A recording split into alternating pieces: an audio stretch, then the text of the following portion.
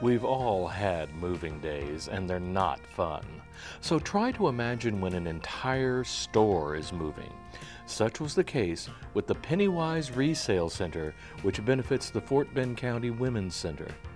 Well, we're very excited about the move for Pennywise in Stafford. We were at our uh, last location since 2004. We figured it was time for a new look, a new uh, sense of community within the store, so we found a fabulous location between uh, Murphy's Deli and uh, Wendy's on Murphy's Road. We had our grand opening yesterday and it went fabulous. We feel that uh, with the new look and the new uh, brightness of the store, um, we'll be able to really attract more people. It's easier to get in here. If you'd ever been to the old store, you could only get in one way and uh, we can turn left and right getting into the center. So it's really going to be a, a great advantage for us. Joy, her staff, many volunteers have put this whole thing together. And, uh, you know, back in the summertime, we learned that we had to move locations we were fretting this quite a bit. We looked around. We had a difficult time finding a location, number one. We found it. It was completely empty, gutted, never been used before. All this is brand new. Uh, I think accomplished in 60 days, 75 days, something like that, uh, with all the permitting, the build out.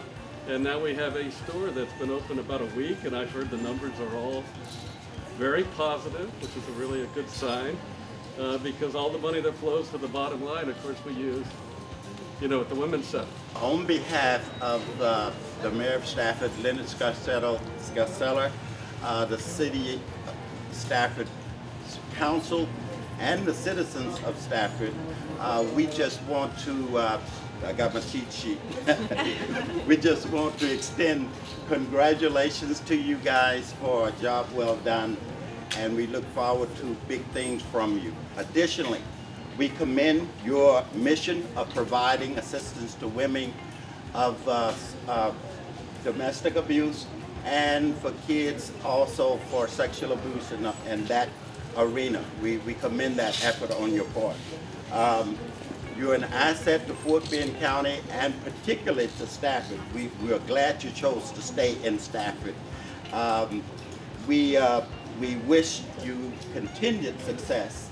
And we, we want you to understand as if there's any way the city of Stafford, uh, the mayor's office can be of assistance, we are there just a phone call away. First of all, I want to say the city of Stafford's been great to work with. I don't think yes. this could have happened if the city of Stafford, and we have the best landlord in the business who happens to be here, Gene Werland problem, he said, okay, let me fix it. And he's just been terrific to work with, and so has the city, and we really do appreciate it. We're glad to be here. And to everybody who helped, and all of our volunteers, the first day we moved here, y'all, we had empty racks, boxes full of junk, not junk, great stuff. and we were like, oh, how are we ever going to do it? Everyone has moved before, right? When you walk into your new house and it's all boxes and you think, oh, I'll never get done. We had all these volunteers, and before the end of the day, it was full. It was absolutely fantastic. We had kids, we had adults, we had Boy Scouts, we had everything. And so um, everyone who helped, I'm sure there's a lot of you who were here. Thank you so much.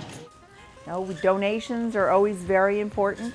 Without the donations from the community that we could not keep our stores open. So please bring things that you might not think you need anymore, but somebody else will find to be a treasure. For more information on the Fort Bend County Women's Center and Pennywise, go online to fortbendwomencenter.org. For Stafford CSI, this is Randall Williams.